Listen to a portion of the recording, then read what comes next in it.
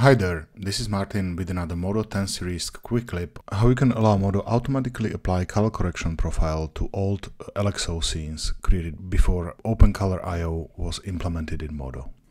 The color profile for new scenes can be found under the scene name directly and here you can see how the scene is managed. Now to enable this uh, feature for all scenes automatically, all I have to do is go to the preferences, find my color management and enable the apply color correction profile to legacy LXO files.